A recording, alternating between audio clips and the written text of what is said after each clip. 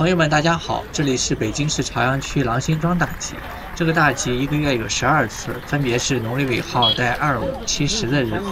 这里安排了一千个停车位供赶集的顾客免费使用，还是比较方便的。还没进门呢，就听见响亮的蝈蝈叫声。待会儿你给我着，待会儿我出去遛狗，我看活不活。他说不活的话呢，你说要多少钱我给你多少钱。这位顾客的一只蛐蛐冻僵了，老板采取了急救措施，他把那只蛐蛐放到了内衣里贴身捂着。我这这刺儿就完了，直接贴了这。夜里叫唤不叫唤啊？夜里啊，夜里不叫。夜里叫唤可不行。夜里给他搁凉的地儿。啊，它怎么搁凉的地儿，它一凉了它就不叫了。老北京人爱好鸣虫这样的玩意儿已经有年头了。据说清朝时候的八旗子弟吃铁杆庄稼，靠国家养着，一年到头都不干活，就是变着法的玩。那个时候冬天又没有天籁之音听，他们就琢磨着把这些原本只能活一百来天的鸣虫们养到冬天，就图个天寒地冻的时候能听到来自大自然的美妙声音。北京总共有四大鸣虫，其中蝈蝈是中丝科的，其他三种都是蟋蟀科的，分别是蛐蛐、油葫芦和金铃子。怎么了你？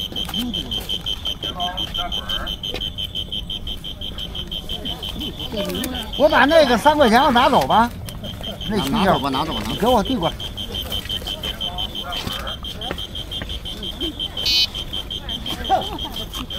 这会谁叫唤？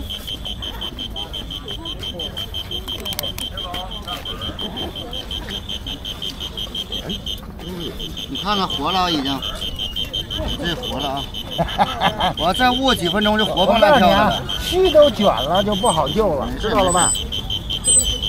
它须卷了。那你先去遛弯去，等你要是遛完弯回来，这条还没卖了的话，那你 你搁那儿早就把那刺儿都给他妈弄弄坏了。那那我不能把刺儿给弄坏了。这个这个发生酱也行。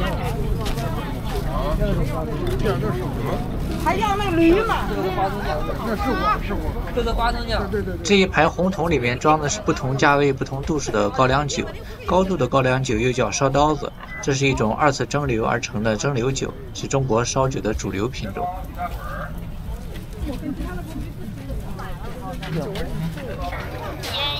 北方的大集上总是少不了各色小吃，尤其是这种规模比较大的集市。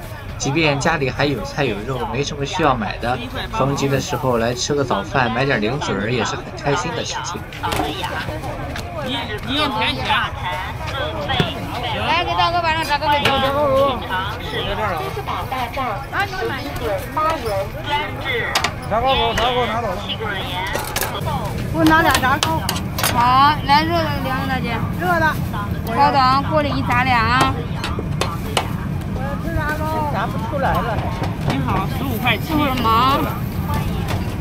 他说给我炸俩，炸了吗？马上，这点面还没给人家干完呢，干完这点面给你炸俩热的。啊。这叫啥？油饼。哦，油饼啊。七十块五元。小米面哦，小米面。它这是两个颜色，这是糖的，哦，这糖的，和这个不一样。一，它就是油饼是一样的，就是味道不一样。哦，可以可以。一分钟左右，我这都下进去了，大姐啊。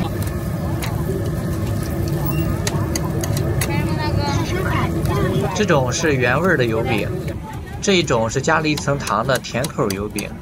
你这在阳光下慢慢膨胀的样子，看起来可真好吃。等会我，你要吃热的，要吃锅里拿，锅里有吗？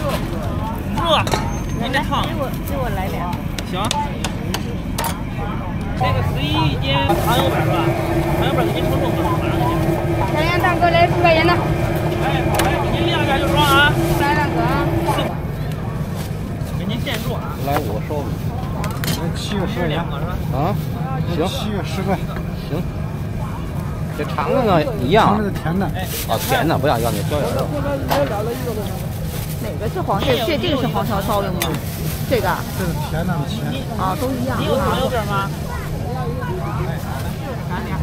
这多少钱一个呀？一块五。一块五。那一样给我来俩。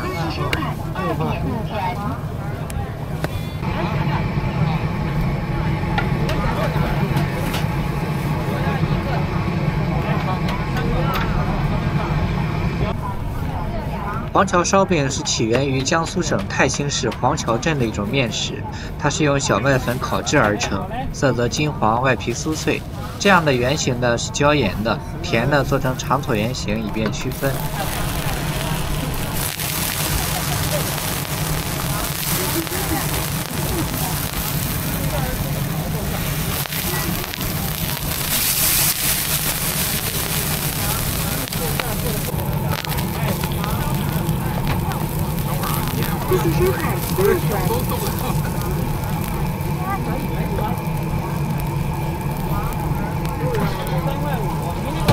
张家湾拍直播了，火着呢，天天拍我的小品。啊，是吗？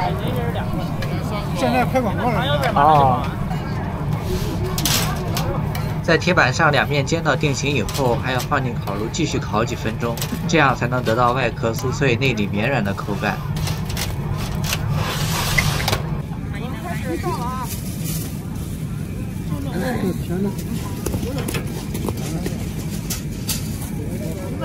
多少钱一个？一万五，没想到在北京的大集上还有广东肠粉卖，鸡蛋肠粉十元一份，还可以鱼外加肉加虾仁，价格增加两到八元不等。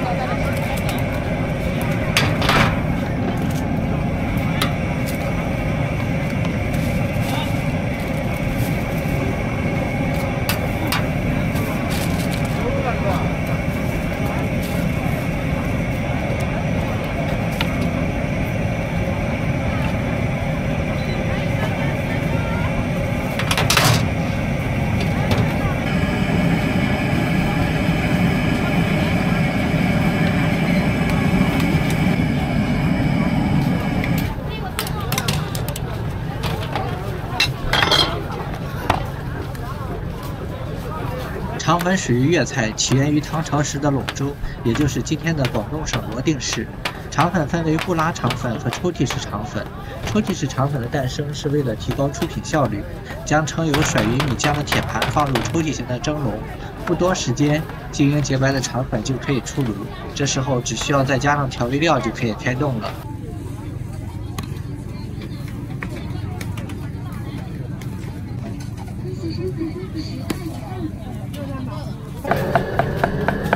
北京城里的大菜小吃无一例外，九曲十八弯都被拐向皇宫大内，卤煮火烧也不例外。卤煮的起源可以追溯到乾隆年间，现在公认的说法是御膳房里专门做江南菜品的苏造，他们的拿手菜宫廷炖肉传到民间，换成猪肺、猪肠等廉价的食材，创造出这种百姓饮食。北京人对卤煮有一种莫名的热爱，网上有个段子是这么说的。大街上晕倒俩人，灌一口卤煮，起来骂的那个一定是外地人。要是问一句有火烧吗？那一定是老北京。那特意说的，原来叫辣椒，它上火了。卤煮火烧的诞生史就是北京历史的见证。清朝时期，北京的经济极度依赖皇亲国戚、勋贵大臣们，自身商业繁荣不足，老百姓生活水平极低，就只能自己想办法搞出像卤煮火烧这样下水炖煮、蒜末酱豆腐调味儿，外加扛饿耐煮死面大硬饼这种。口味重、热量高、单价低的食物。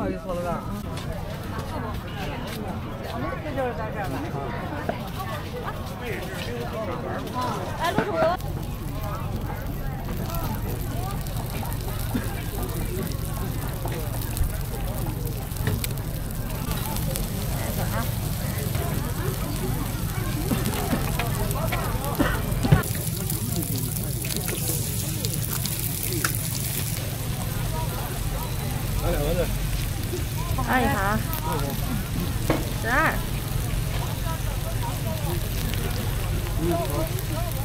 肉蛋堡这种简单、方便、热量充足的小吃，可以说街头巷尾到处都是。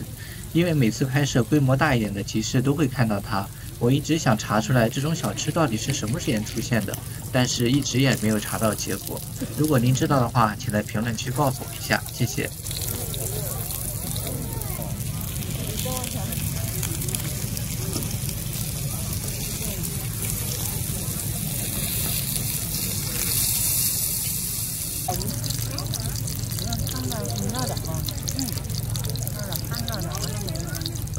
有辣椒吗？没了。这得毛得排会儿队是吧？对。哦。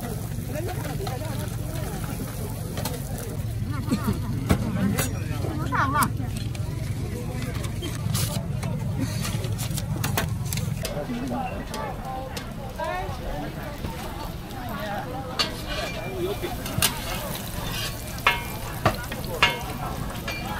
做撞模的老板两口子脾气慢悠悠的。不急不躁的做着手里的活儿，一张撞模烙的慢条斯理。他家的撞模和我们在沙河大街上拍到的不一样，个头要小得多，相应的也薄了不少，应该是做出了改良。毕竟烙沙河那种又大又厚的撞模太费时费力了。这里的馅料选择比沙河的丰富，有羊肉、牛肉和韭菜鸡蛋三种口味。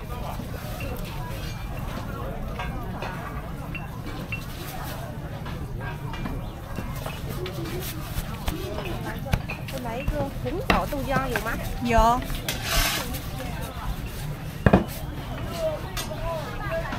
当时我就想问问老板，为什么要用这么大一把宽刃砍刀去烙饼，但一直没好意思问出口。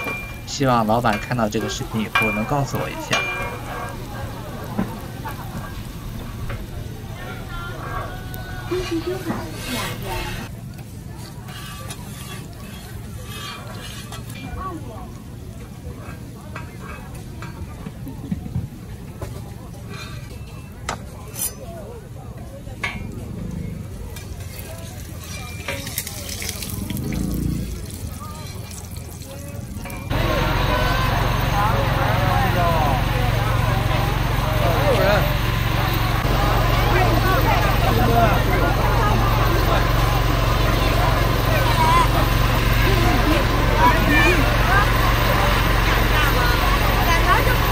糖是独属于冬日的甜蜜味道，一块小小的糖含在嘴里，甜甜的滋味盈满口腔，那是对小时候幸福的回忆。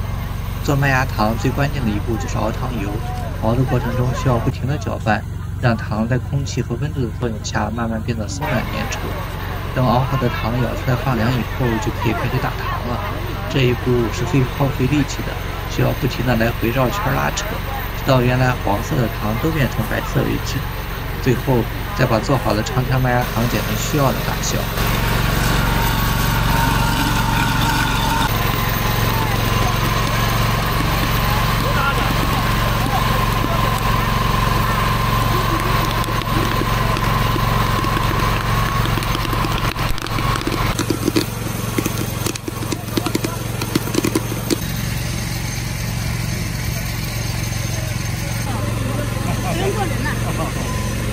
摊位上卖的都是甜蜜蜜的小吃，爆米花、糖葫芦、膨化玉米棒。玉米棒五元一大包，顾客自己装，能装多少装多少，想装多少装多少，装到塑料袋装不下为止。老板特别会做生意，他给每一个路过摊位的孩子都会做一根弯弯头的玉米棒。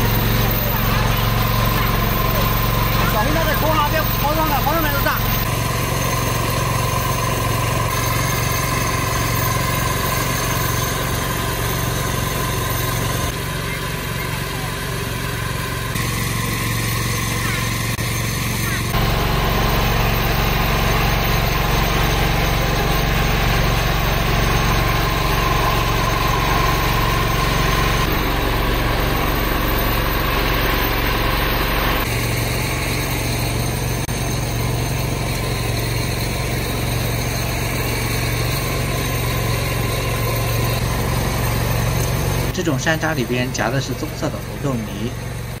这些夹的是白色的糯米。过去。微信收款十元。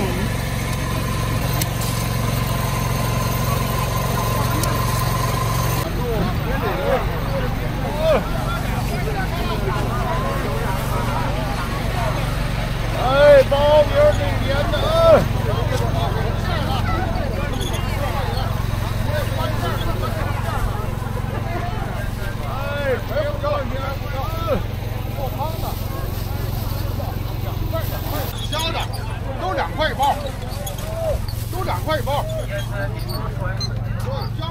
八块五。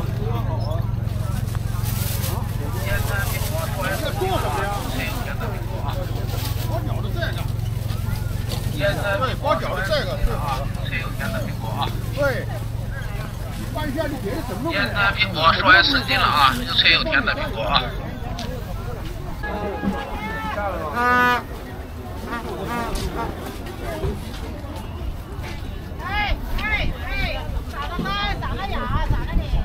开吧。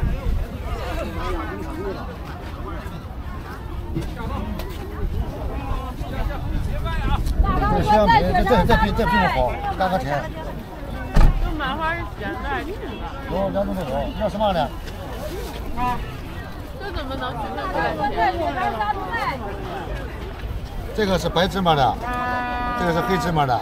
你看看，看了，一个黑芝麻就是咸的，这白芝麻是甜的，它它不一样。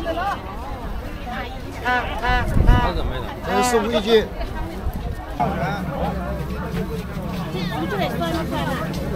谁家的枣也没有酸的呀？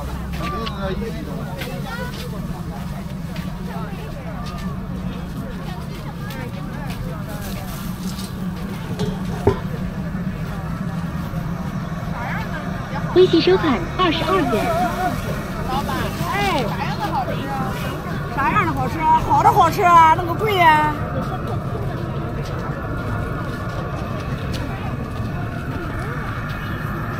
原味的，这就是原味的。这手工大锅绿豆面浆的，这是绿豆浆做的。这种老板叫它和了和的，是北京的一种小吃。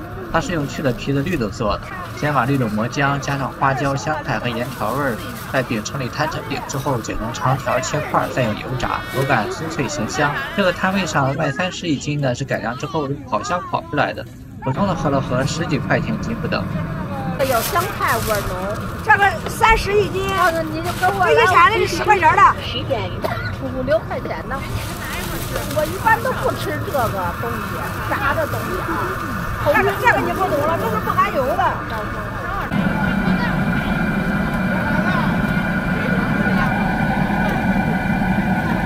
我以为老板在现场炸制合了合，于是跑进来看了一下，结果老板炸的是胡萝卜丸子。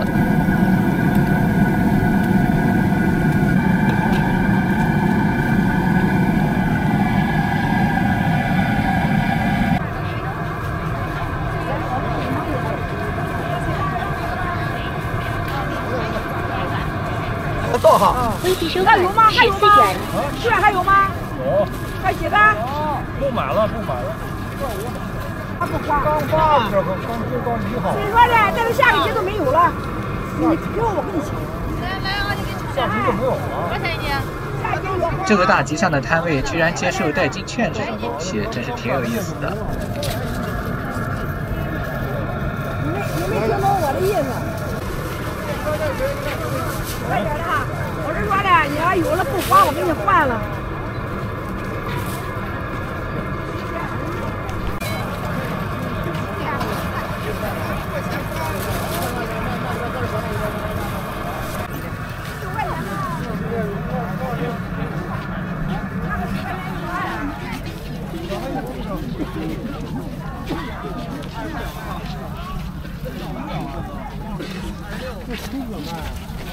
大的就不红。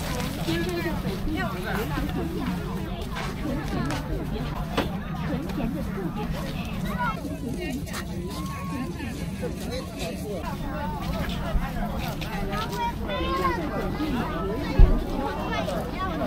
饮料给抢了。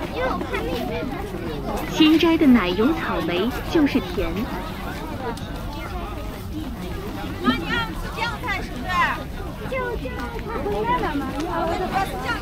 我说你吃呢？我不吃，你不吃。你不要吃饭，买点早上你走的时候。东北大缸酱菜，正宗朝鲜族的小咸菜啊。口感好。这十块俩都十块。东北大缸酱菜，正宗朝鲜族的小咸菜了啊。正常，正常。别看看。东北大缸酱菜。这边二十，这边十二。正宗的朝鲜族小咸菜了啊。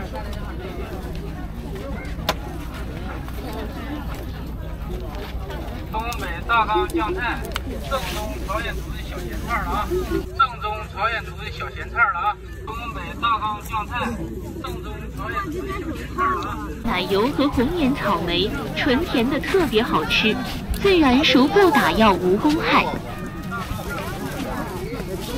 新摘的本地奶油和红颜草莓，纯甜的特别好吃，自然熟不打药无公害。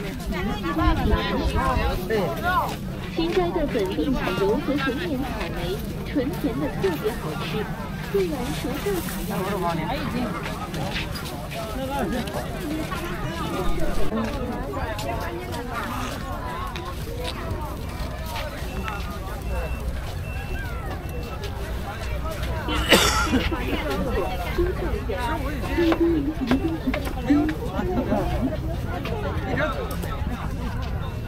来一个。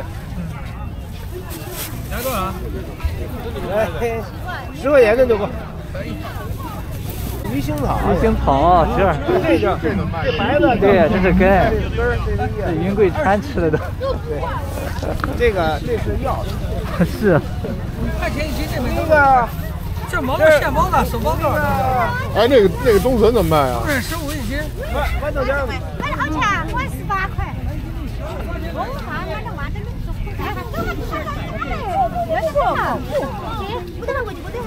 菜，我买的萝卜，买的菜。一月一号就有香椿芽了，价格居然这么便宜，十元一把还买一送一。现在是不是一年四季都能吃到香椿芽了？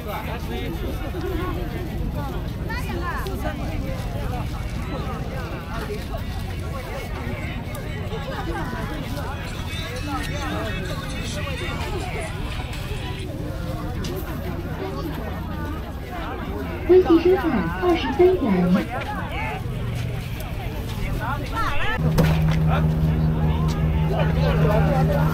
这个卖淡水鱼的特别有意思，它不按重量卖，而是直接一盆一盆的卖。一盆里边的鱼有多有少，品种也不一样，所以价格也完全不一样。这这块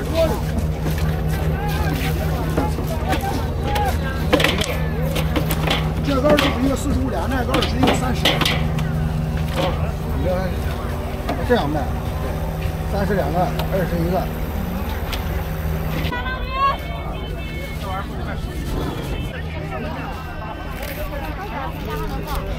那个那个条一个，那个先看一个。我把这个，我把这个切了，你走出来，看了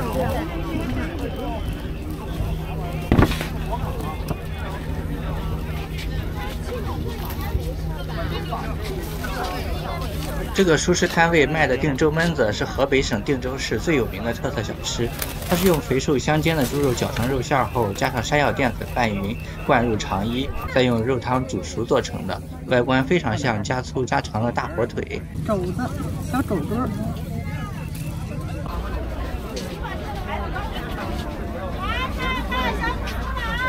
十八一袋合六块五一斤，保你特别好吃。不满意了，我给你退双倍。合六块五一斤啊！六块五一斤。对，这一袋十八，二斤八两。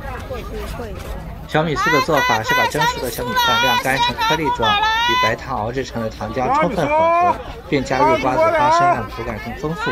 在模具里压制成型切片后即可食用。这和我们在成都天回大集拍到的做法是一样的，就不再赘述了。这家的元宵口味非常多，除了传统味道之外，还有榴莲、巧克力、抹茶、蓝莓、桂花、山楂、钙奶、菠萝、小枣、草莓，还有几种无糖的可供选择。啊，黑芝麻的。然后再给我拿个袋装一点点那个五仁的，因为我不吃五仁的。要要什么样的？来要过呗。行。多少的不？十五。你这来一块行吗？二十一。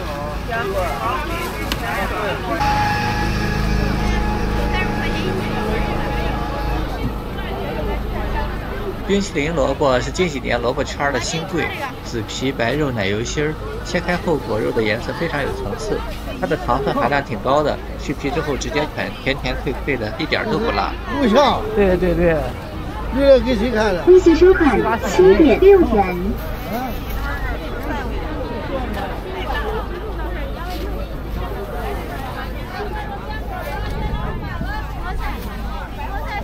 微信收款八点六元，微信收款六点二元，微信收款三点五元。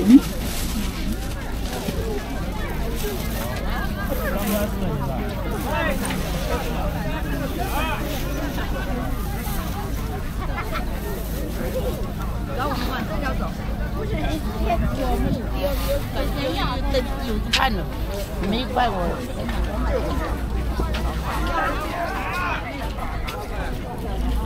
微信收看七点。又又回头路了。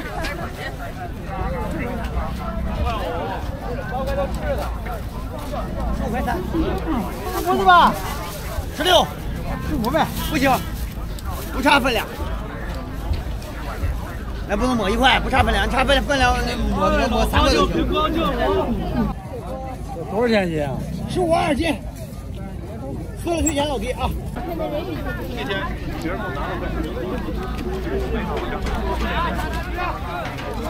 哎，微信收看十六元。微信收看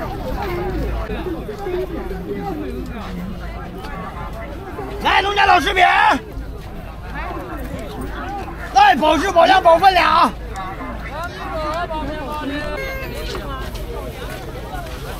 别骂，干这我不打八分给你吃了。啊，大哥，那个豆角子一把抓，十块钱给三斤，大哥。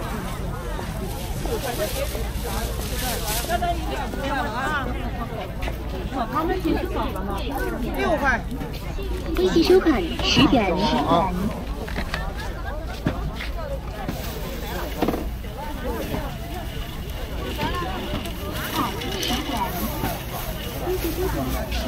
没钱卖了呢。抓掉了。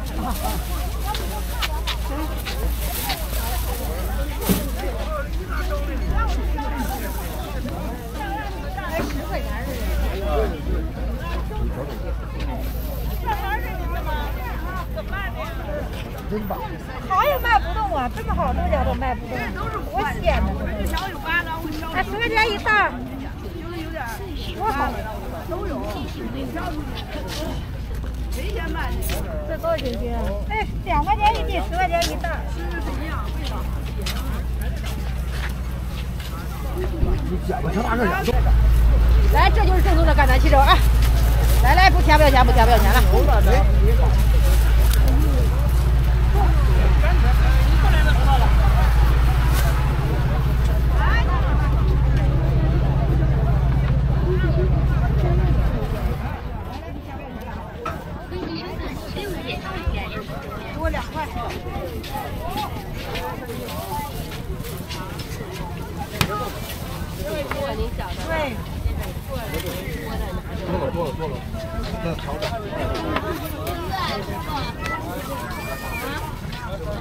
放心的吃，来来这就是不重要，你得看是个好豆丝儿。你看我这不都干爽呢，绝对干爽。来，来多少？放几天没事儿啊，啥事都没有。十块两毛，够吧？哎，好。哎，扔里吧，姐，给我扔里头。哎，好。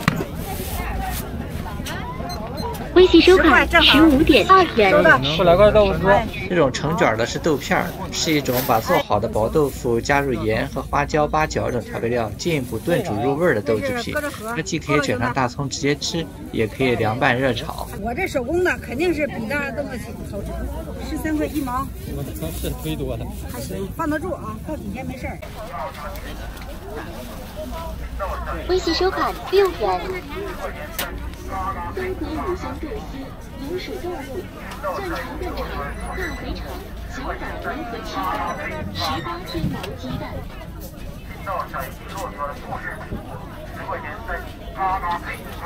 炒黑豆、五香花生米、开花蚕豆，这些零食给人一种穿越回二十世纪的感觉。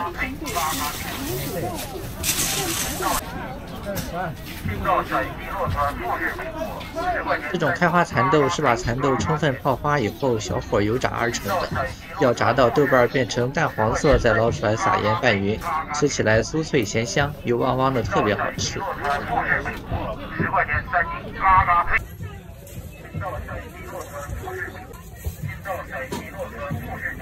十块钱三斤，嘎嘎脆，嘎嘎甜。青岛陕西骆驼富士。块钱三斤，嘎嘎脆，嘎嘎甜。青岛陕西洛川富士水果，十块钱三斤，嘎嘎脆，嘎嘎甜。三名，十块钱三名呀。青岛陕西骆驼富士水果，十块钱三斤，嘎嘎脆，嘎嘎甜。青岛陕西洛川富士水果，十块钱三斤，嘎嘎脆，嘎嘎甜。青岛陕西洛川富士水果，十块钱三斤，嘎嘎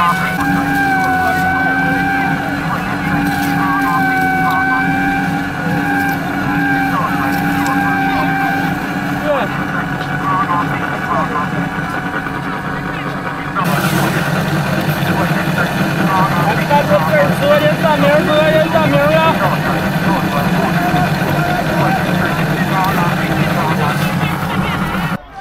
这不是我，那是那大哥了。没事，我他就挂那儿了，没事，拍吧拍吧。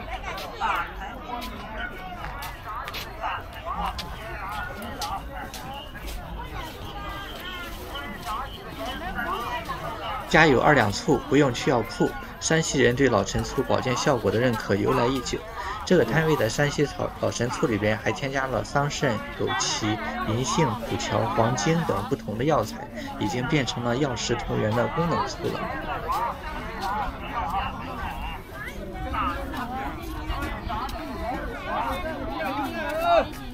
老陈醋，山西老陈醋了，两人醋。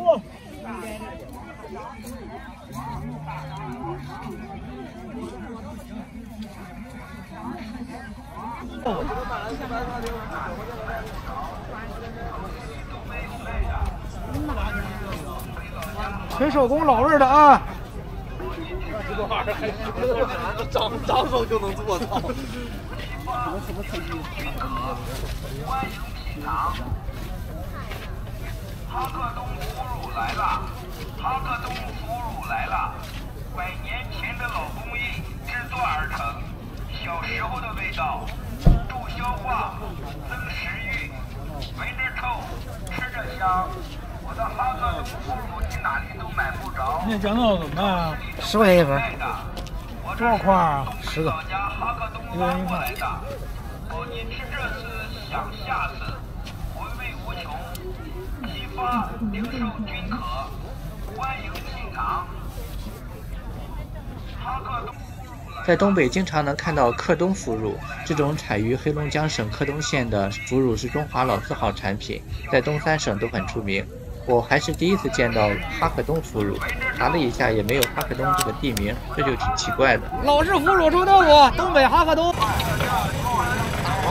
做做宣传吧。对。尝尝尝尝尝尝。十六一斤。六。